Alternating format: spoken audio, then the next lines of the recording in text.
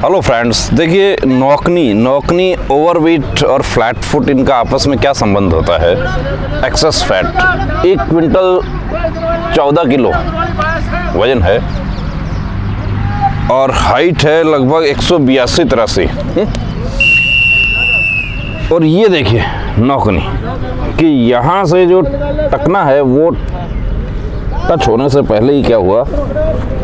अब ये खींचने से भी टकना टच होने से पहले ये पूरा गैप हो गया। ये पैक हो चुका है यहाँ से तो इसमें कितना जाना चाहिए? एक दो फिंगर का यहाँ पर गैप होना चाहिए और तीन का यहाँ गैप होना चाहिए और ये मिलना चाहिए। अब बेस्ट एक्सरसाइज क्या है? देखिए, सबसे पहले तो ये कम होना चाहिए। फैट ये एक्सेस फैट कम होगा। कम से कम 20 किलो जो है, वो यहाँ से कम होगा। ये अकेला पेट में ही 20 किलो कम होगा।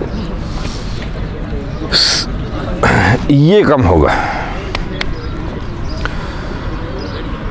कितने तक फिट हो जाएँगे? हो जाएँगे लगभग 80 तक।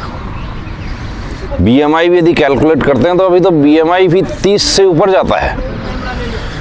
तो नौकनी के लिए देखिए बेस्ट एक्सरसाइज आपको बताते हैं सुमो स्कॉट कैसे करना है सुमो स्क्वाट खड़े हो जाओ एक बार। इधर मुँह कर लो मेरी तरफ़।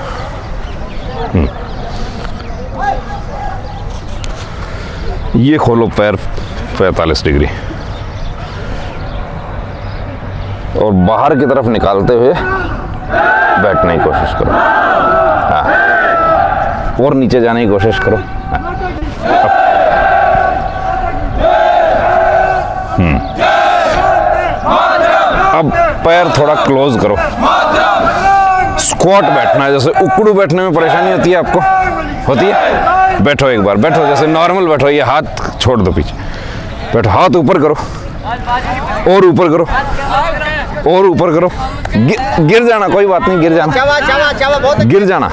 ये स्क्वाट अनेबल टू स्क्वाट यदि आप स्क्वाट नहीं बैठ पाते हैं तो भी आप अनफिट हैं। इसकी वजह से बहुत सारे कैंडिडेट अनफिट हो जाते हैं। क्यों नहीं बैठ पा रहे? ये। ये ये तो अब मैं तो बैठा हूँ आराम से। हुक्म जी भी बैठ जाएँगे। बैठिए हुक्म जी हाथ ऊपर कीजिए। पूरा 45 डिग्री पे। पूरा जा रहा है। लेकिन फैट की वजह से नहीं जा रहा। तो हो जाएगा प्रैक्टिस से हो जाएगा। दस दिन में बिठा देंगे। चलो। चावा बहुत अच्छी। बहुत अच्छी मेहनत करते हैं सर। हाँ। ये तो बहुत ज़्यादा कम से कम तेरह के जी वेट टूट गया सर। सच्चाई। मेहनत करते दस चक्कर लगाते हैं साहब। बिल्कुल बिल्कुल।